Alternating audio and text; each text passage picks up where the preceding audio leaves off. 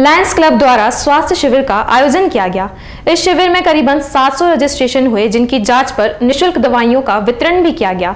इस शिविर का आयोजन मलारगंज स्थित क्षेत्र में किया गया। इस दौरान लायंस क्लब के सदस्यों ने बताया कि स्वास्थ्य शिविर प्रतिवर्ष आयोजित किया जाता है। इसमें एम के सहयोग से रक्तदान भी हुआ। इसमें क्षेत्र के रहवासियों ने हिस्सा लिया। इस शिविर में मुख्य अतिथि के रूप में देवी अहिल्या विश्वविद्यालय के कुलपति नरेंद्र धाकड़ शामिल हुए।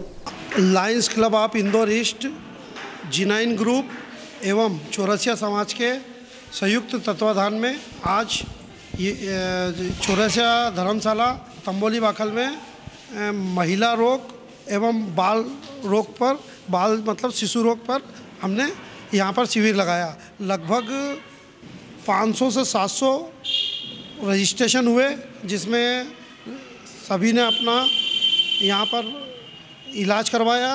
और हमने दवाइयाँ भी निशुल्क जो हमारे पास उपलब्ध थी, वो यहाँ पे दवाइयाँ भी हमने निशुल्क वितरित की गई। साथ ही साथ बहुत से लोगों ने रक्तदान करा। एमवाई के सहयोग से यहाँ रक्तदान शिविर भी लगाया गया था। तो बहुत से युवा साथियों ने और महिलाओं ने यहाँ पे रक्तदान भी किया गया।